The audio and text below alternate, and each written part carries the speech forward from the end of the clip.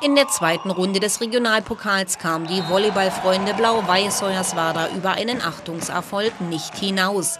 In heimischer Halle hatte man am Sonntag mit dem TSV Chopau und den Lee-Volleys aus Leipzig zwei Mannschaften aus der zweiten Bundesliga zu Gast. Gegen Chopau konnte man einen Satz gewinnen, verlor die Partie aber mit 1 zu 3.